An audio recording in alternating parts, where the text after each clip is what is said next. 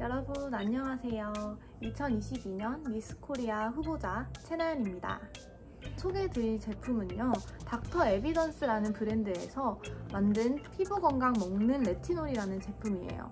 이 제품은 식약처로부터 기능성을 인정받고 우리의 피부와 점막을 형성하고 기능을 유지하는 데 필요한 성분이 들어있는 피부 건강 제품이라고 합니다. 이 제품은 강노화로부터 피부를 지키시고 싶으신 분 그런 분들께 추천해드리는 제품인데요.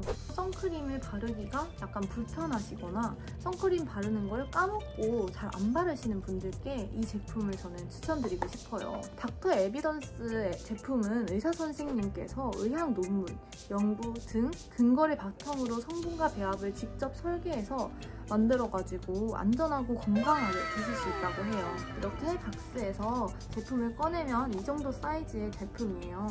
적, 하루에 정량은 한 알, 하루 한 알만 딱 드시면 돼요. 알약을 하나 꺼내면 이 정도 사이즈의 검은색 알약이 들어있어요.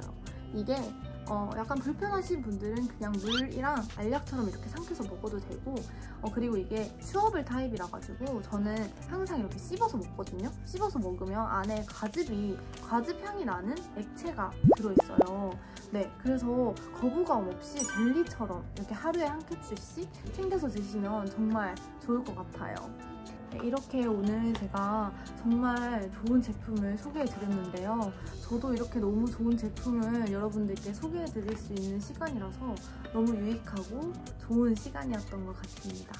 네, 저희 다시 한번 닥터 에비던스에서 만든 피부 건강 먹는 레티놀이라는 제품 많이 관심 가져주시면 너무 감사하겠습니다. 감사합니다.